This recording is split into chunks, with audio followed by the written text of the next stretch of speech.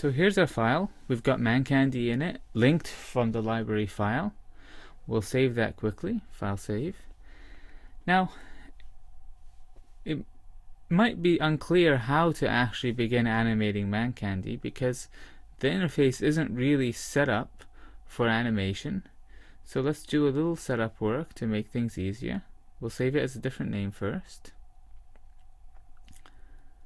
And then save the file. Click Save As or hit Enter.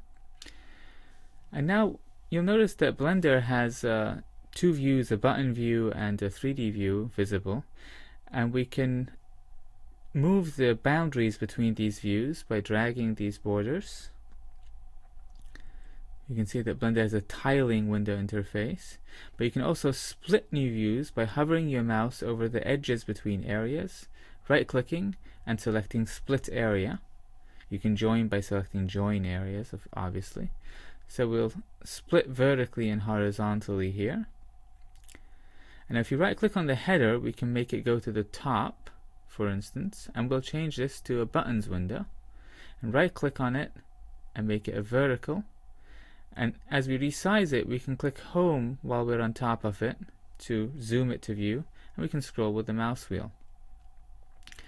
We'll make these bottom headers and then we'll change this to an action editor and we'll change this one to a timeline. Now the timeline is pretty cool. It allows us to scrub back and forth on animation, change the start and end frame, playback, or turn on auto keying which looks like a record button here so it's uh, and it's got some other features like markers and other nifty little utilities for animators and the action editor is where we'll actually visualize the animation for the character.